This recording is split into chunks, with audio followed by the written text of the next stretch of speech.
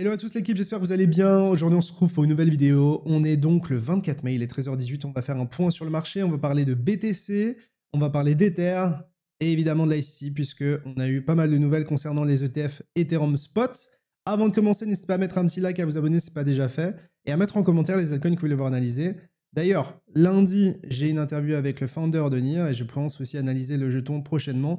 Donc voilà, n'hésitez pas à mettre d'autres altcoins que NIR, hein, puisque là j'ai traité Phantom, je vais faire NIR et je vous laisse tout simplement choisir la prochaine.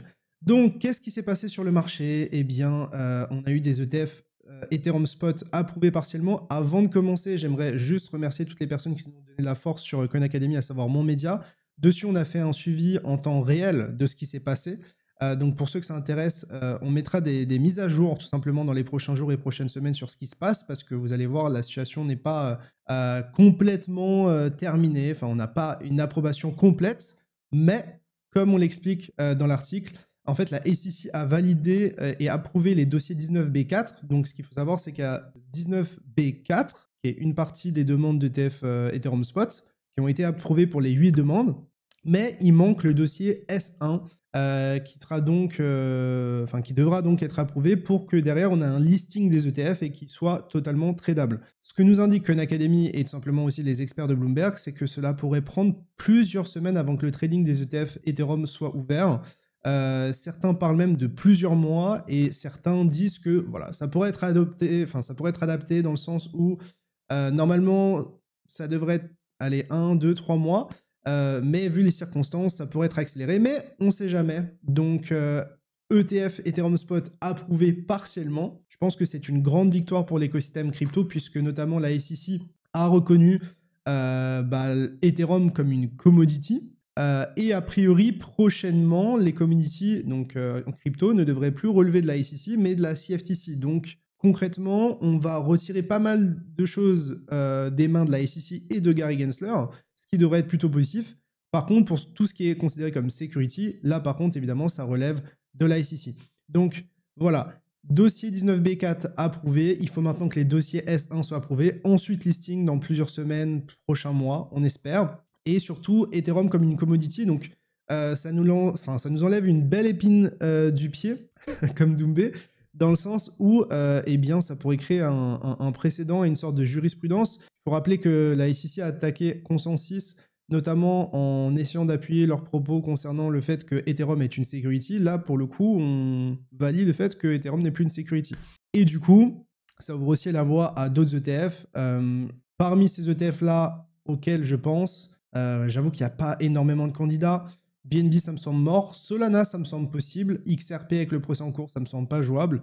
Ensuite, Dogecoin, pourquoi pas? Et puis derrière, on se retrouve avec des, des, alts qui sont beaucoup moins capitalisés, qui ont beaucoup moins de volume, beaucoup moins d'intérêt. Donc ça m'étonnerait qu'on voit des ETF pour ces crypto-monnaies-là. Mais on pourrait s'attendre peut-être à une ouverture et euh, des discussions autour de Solana. Je sais que certains experts parlaient aussi de Solana. Donc ça va être quelque chose à prendre en compte dans notre trading, dans nos plans d'investissement et dans la gestion euh, personnellement de mon folio. Maintenant, parlons prix. Euh, où est-ce qu'on en est sur Ether? On va commencer sur Ether. Euh, eh bien, je vous expliquais que bah, pour moi, on est sur la dernière résistance weekly, c'est-à-dire que pour moi, la ligne en rouge, c'est la dernière résistance sur le graphique. Pour moi, au-dessus, on n'a absolument rien, si ce n'est l'ATH. Et pour le coup, euh, juste avant l'approbation des ETF, en tout cas partielle, eh bien, on a retesté parfaitement ce niveau. donc, donc voilà, plutôt, plutôt clean. on a aussi, enfin là, pour le coup, on est vraiment en reload zone vendeuse. Donc 61-70% de retracement euh, de toute la baisse qu'on a eue récemment. Euh, je ne shift pas pour autant euh, totalement bull. Enfin, je suis bull, mais j'ai quand même quelques réserves parce que vu que le listing des ETF Ethereum Spot pourrait prendre davantage du temps et que donc les inflows, donc l'argent des institutionnels qui rentrerait sur ces ETF Ethereum Spot pourrait mettre davantage de temps à arriver on pourrait peut-être avoir un marché qui consolide ou retrace, dans le sens où tout le monde a anticipé de cette news-là, et euh, bah, tout le monde s'attendait à ce que ce soit peut-être plus direct. Or, c'est pas forcément le cas, donc je vais pas être bull tard, dans le sens où je vais pas être bull de manière totalement débile. Pour autant, là, ça change pas mes holdings, c'est-à-dire que je détiens toujours majoritairement de l'Ether. Euh, pour l'instant, je prévois pas d'en vendre, mais voilà, je, garde en tête le fait qu'on puisse avoir quelques jours, quelques semaines de cool-off où on va justement se calmer un petit peu, digérer la news et progressivement anticiper les listings. Pour le moment, comme je l'expliquais, on n'a pas de date de, ces listings.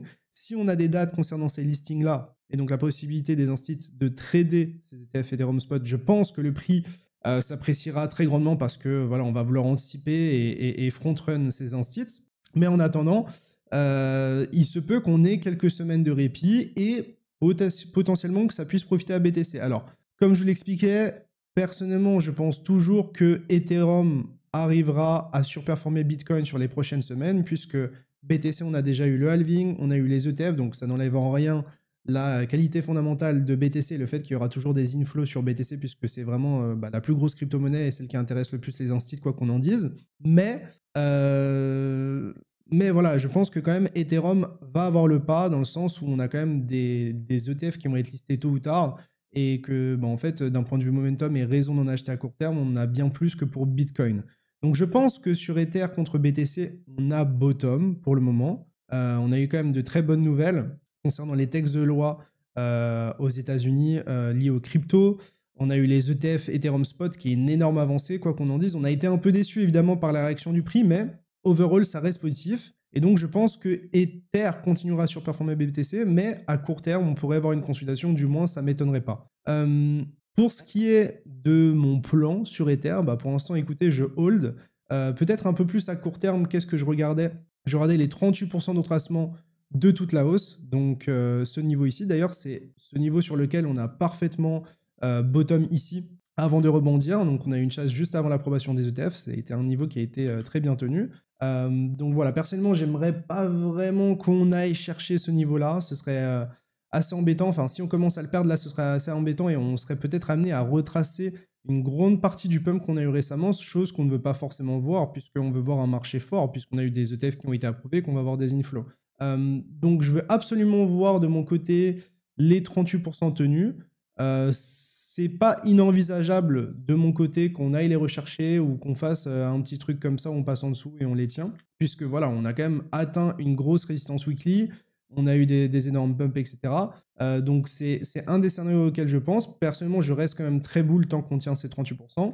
Euh, mais rien n'est dit que, eh bien, on, on, aille les rechercher. Il y a aussi une autre option où, eh bien, d'un point de vue plus low time frame, hop, on a été chercher cette de zone acheteuse, donc 61 à 70% de retracement de la hausse qu'on a eu récemment ici.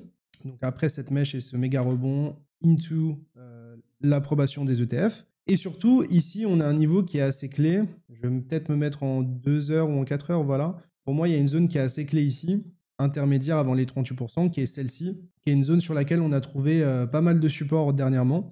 Euh, et que j'aimerais voir tenir vu la gueule euh, fondamentale d'Ethereum avec tous ces listings euh, qui vont arriver et l'approbation des ETF. Donc, overall, je suis bull Ether, j'aimerais pas qu'on perde ces 38% ici, je continue à penser qu'on fera un nouvel ATH, je continue à penser que la prochaine fois qu'on va chercher cette zone ici, ce sera probablement pour la casser et se diriger vers un ATH. En attendant, voilà, on peut s'attendre à davantage de consolidation, etc. Et mes positions restent inchangées du côté d'Ethereum. Peut-être regarder du côté de l'order flow, on est repassé sur des fundings qui sont euh, neutres. Du moins, on, est sur un neutre qui n'est pas euh, ultra explosif, c'est-à-dire qu'on est à 10% annualisé, c'est totalement normal. Je pense qu'on a euh, retiré une bonne partie de l'euphorie. D'ailleurs, on est passé de 9,4 milliards à 8,3 milliards d'open interest, donc on a baissé d'un milliard, quasiment 10%, peut-être un peu plus. Donc c'est quand même pas mal. Surtout que, bah, en fait, on a une baisse de l'open interest de 10% pour un prix qui baisse de ouais, 5%. Euh, donc c'est assez impressionnant. Euh, je pense que ce qui est encore plus impressionnant, c'est sur BTC, je vous montrerai juste après. Mais tout ça pour vous dire qu'on a viré pas mal de gens euh, et que je pense que les gens qui étaient ultra euphoriques se sont fait essai en fait avec, avec cette mèche-là ou ont peut-être perdu de la conviction dernièrement. Donc personnellement, voilà, je, reste toujours sur Ether. Je, pense qu'on ira toujours plus haut. Juste, je fais attention et j'ai absolument envie de voir cette zone tenir si jamais on y retourne. Euh, ce serait assez problématique qu'on la perde, puisque ça nous amènerait à retracer la majorité du pump qu'on a eu. Alors on peut toujours aller chercher la reload zone, donc 61-70% de retracement de toute cette hausse ici dernièrement, et donc la zone idéale pour défendre ce lot. Euh, mais ce serait un peu inquiétant. Alors après, peut-être que juste BTC va dump et Ether contre BTC va perf et on peut se retrouver dans cette zone-là, mais ça me semble assez peu probable. Euh, du côté de BTC, Qu'est-ce qui se passe? Eh bien, du côté de BTC, comme je vous l'expliquais, on a eu ce, range ici bien défini entre la borne verte et la borne rouge. Petite déviation en dessous, on récupère le range, on reteste la borne basse, on la tient, on push et on va chercher quoi? La borne opposée. Donc comme je l'expliquais, quand on a une déviation, en général, on va chercher la borne opposée. Donc maintenant, c'est chose faite. Et euh, eh bien, on a vu pas mal de faiblesses du côté des, de, BTC, puisque je pense qu'il y a pas mal de liquidités qui sont passées de BTC à Ether en, vue de, ces ETF euh, Ethereum Spot. Ce qui nous amène maintenant à, euh, eh bien, tout simplement un retest du milieu du range. donc, je vous ai tracé ici cette petite ligne ici. Je peux peut-être mettre cette petite ligne encore plus, alors donnez-moi un instant, encore plus visible. Voilà. Donc, on a retesté parfaitement ce milieu de range ici avec cette petite mèche. Au passage, euh, on a retesté les 38% de retracement de toute cette hausse ici. Donc depuis euh, la borne basse du range euh, jusqu'à la borne haute du range. on n'a pas retesté les 38% de toute cette hausse ici depuis le bottom absolu récemment au top absolu récemment. mais ça me semble pas inenvisageable. Je pense sincèrement qu'on va jouer un petit peu avec nous dans cette zone ici. Si on commençait à perdre cette zone ici, ce serait un peu inquiétant. À ce moment-là, on voudrait vraiment voir cette zone tenir ici, ce serait une zone assez incroyable pour faire un, higher low et donc continuer euh, euh, cette tendance haussière en daily. Mais voilà, j'ai pas envie d'en arriver là. J'ai envie que ce milieu de range tienne absolument. Euh, quoi dire? Pas mal de faiblesses, honnêtement. Pas mal de faiblesses du côté de BTC. Mais j'ai vraiment pas la sensation qu'on ait trouvé un top, dans le sens où on, a trois highs ici qui ne chassent jamais les précédents. Donc pas mal de liquidités ici qui s'accumulent. Je pense qu'ici, on essaye vraiment de chasser pas mal de gens en, en chassant ce lot ici, peut-être ce lot, peut-être ce lot. Voilà, ça m'étonnerait pas qu'on ait peut-être un dernier push ici. Je pense d'ailleurs que ce serait un beau setup long si jamais on, allait chasser sous ce niveau ici pour derrière le reclaim. Mais voilà, je pense que jusqu'à preuve du contraire, c'est plus intéressant de bid euh, sur euh, Ether que BTC, donc plus intéressant d'acheter des dips sur Ether que sur BTC. Euh, et voilà, pour autant, je pense pas qu'on a un top de marché. D'un point de vue EMA d'ailleurs, 9, 13, 18 en daily, on est parfaitement dessus historiquement, ces EMA, elles font quand même leur job. Même en deux jours, on doit être dessus, ou en tout cas, on n'en est pas loin. Euh, donc voilà, on est quand même sur des niveaux qui sont assez clés. Personnellement, j'ai vraiment envie de voir ce niveau de, enfin, ce milieu de range tenir pour targeter personnellement en ATH. Parce que je pense que si jamais on est amené à retester cette borne haute du range, euh, ce sera pour la casser. Un peu comme ce que je vous expliquais sur Ether. Je pense que si on reteste cette, zone ici, ce sera pour la casser parce qu'on a quand même on a bloqué quand même euh, en dessous une, deux, trois fois, 4, 5, 6, 7, 8, 9, ou en tout cas de manière quatre fois, quatre fois à, de multiples reprises. Donc euh, je pense que si jamais on y retourne, ce sera pour avoir une continuation haussière et, péter la TH. Et donc c'est pour ça que je vous explique que si jamais on a un setup long ici qui est assez sympa, euh, je pense que ça pourrait être une bonne opportunité pour derrière viser un nouvel ATH et cette chasse de high ici. Euh, donc fondamentalement, mon bien n'a pas changé sur BTC, juste on est un peu fébrile et je pense que le marché va jouer avec nous. D'un point de vue order flow, par contre, ce qui est très impressionnant sur BTC, c'est que l'open interest est bien plus bas euh, que, sur, euh, que Ether. En tout cas, la baisse est accentuée. On est passé quand même de 12 milliards au top à, 10,6 milliards. Et si on regarde là où on était, donc on sur, est à peu près au même prix euh, qu'ici. Pour le niveau équivalent en open interest, on était à 11,4 milliards. Là, désormais, on est à 10,6. Donc ça veut dire que sur ce retracement, euh, on a énormément de positions qui sont clôturées. Alors, je pense évidemment que c'est lié au fait qu'on est, euh, possible, on est des ETF euh, Ethereum Spot. et donc, forcément, l'intérêt se décale et se porte vers Ethereum. mais ce que ça montre, c'est qu'on a chassé beaucoup de gens quand même. on a un funding qui, est de nouveau neutre. Il pourrait être encore plus bas, hein, mais il est de nouveau neutre. Donc, c'est le genre d'environnement quand même qui, qui m'intéresse si jamais je cherchais des longues. donc voilà, personnellement, sur Ether, je vais essayer de chercher des longues dans cette zone ici. Ou euh, si jamais on a une chasse ici, à ce moment-là, un, reclaim, ce serait vraiment pas mal. Pour toujours viser un nouvel, un nouvel ATH, surtout viser une cassure des 3930 euh, dollars, euh, qui est pour moi la dernière résistance majeure sur le graphique. Et sur BTC, de même, comme je vous expliquais, je vais essayer d'acheter le milieu de range pour derrière viser un retour en haut de range, mais surtout une cassure et un ATH. je pense qu'on pourrait se diriger vers des risk-reward, des ratios risk-reward qui seraient assez intéressants. Pour autant, si j'ai le choix entre deux setups, euh, de la même qualité, je pense que je prendrais Ether vu les listings qu'on a devant nous. Euh, du côté de la dominance, voilà, Ether a pris beaucoup de dominance euh, juste après le halving, grâce notamment aux ETF. Et d'un point de vue qualification du marché crypto, bah, un peu comme sur BTC et Ether, pour moi, on se heurte à la dernière résistance majeure avant une continuation haussière.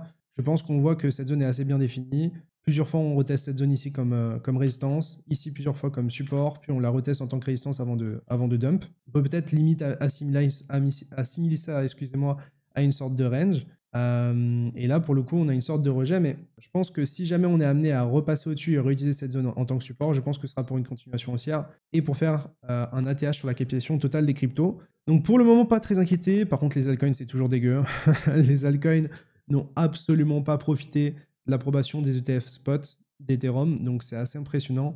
Et même si on regarde la capitalisation des altcoins vs BTC, on est toujours dans le même foutu range depuis, euh, depuis un an maintenant. Depuis un an. Donc euh, les altcoins sous-performent très largement BTC et Ether. Euh, J'ai pas fait cette comparaison avec Ether. Euh, hop, qu'est-ce qu'on voit? On voit que les altcoins ont, pris très cher et qu'il y a beaucoup d'argent qui est rentré dans Ethereum, tout simplement. Donc voilà, j'espère que ce brief vous, aura plu, j'espère qu'il vous aura servi, j'espère que vous aurez progressé grâce à moi. Encore une fois, des fois, j'ai l'impression de ne pas être super clair, vous me dites en commentaire, mais j'essaye vraiment encore une fois de dérouler ma pensée pour que vous puissiez comprendre un petit peu ce que j'ai en tête. Le marché bouge vite, le marché bouge, bouge très très vite, donc il se peut que je fasse des updates encore plus régulièrement sur BTC Ether, surtout vu la situation et vu la volatilité. et on va surveiller ça ensemble de très très près. Merci à tous pour votre confiance. N'hésitez pas à mettre un petit like et à vous abonner si ce n'est pas déjà fait. On se retrouve très vite. C'était Pixou.